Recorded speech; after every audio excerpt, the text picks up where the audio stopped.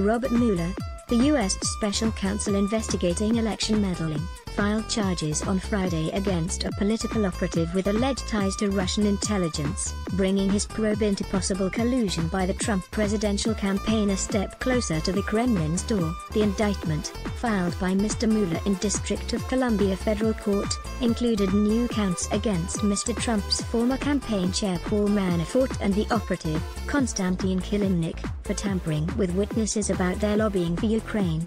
It was the third time Mr. Mueller had added to charges against Mr. Manafort since he was indicted in October. Mr. Manafort has pleaded not guilty to a raft of charges, from money laundering, to failing to register as a foreign agent, to bank and tax fraud. The additional charges could add to pressure on Manafort to cut a deal and cooperate with the probe, legal experts said. Mr. Manafort has long-standing ties to a pro-Russian political party in Ukraine and a Russian oligarch close to the Kremlin but more significantly Friday's indictment marked the first time that Mr. Kilimnik, who in previous court filings was referred to only as Person A, was named.